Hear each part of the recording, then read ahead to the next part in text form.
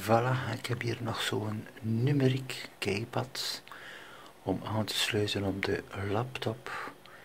Is heel interessant om snel te gebruiken, bijvoorbeeld als je foto's of je video's opslaat onder datum, dan is dat wel handig dat je direct toegang hebt tot de cijfers en vlug alles kan klasseren op je pc.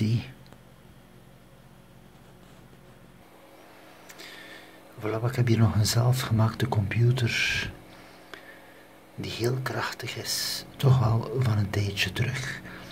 En dus, die had geen keypad. En met dus via die keypad op USB is dat wel ideaal.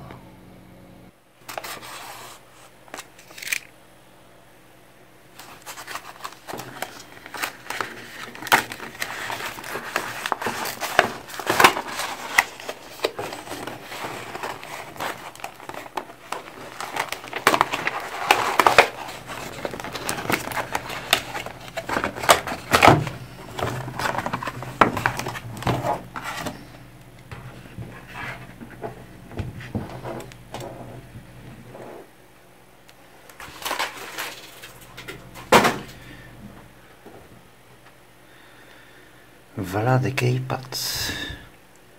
Om aan te sluiten op je USB-poort.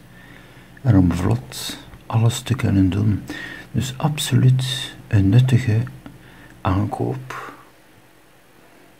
En interessant voor uh, je toepassingen met je computer. Hier bijvoorbeeld, ik doe veel aan videobewerking en al mijn bestanden worden opgeslaan iedere keer volgens jaartal, de maand en de datum. Dat is ook heel eenvoudig dan om iets terug te vinden van die bepaalde dag. Natuurlijk, de uur komt er automatisch bij. Maar voor u persoonlijk is het wel interessant om bijvoorbeeld uw foto's en uw bestanden ook op te staan volgens de datum.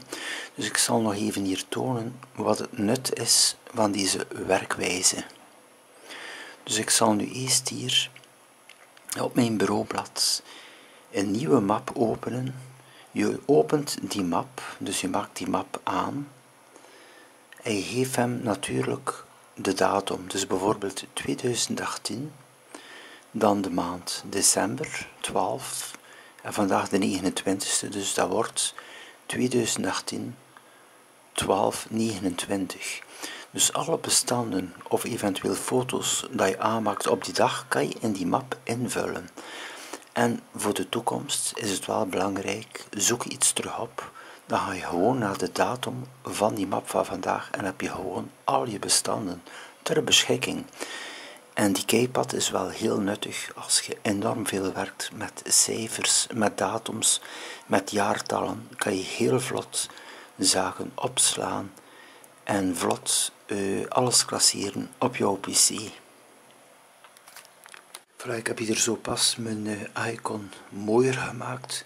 Dus in een mooier logo. Hoe dat u dat moet doen, hebt u al kunnen zien in vorige cursussen van mij. Dus ik heb het hier nog even vlot getoond.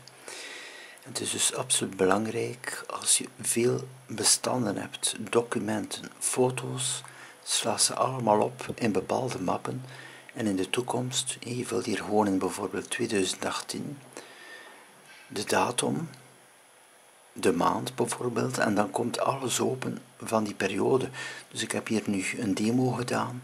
Ik klik op het bestand, er staat nu niets in dat bestand, maar ik kan dus alle bestanden toevoegen en zo voor de toekomst heb je altijd alles vlot bij de hand. En dat via de keypad, vlot en efficiënt. Voilà, hier eindigt de cursus over het snel klasseren op Windows 10 via de keypad en via de datum.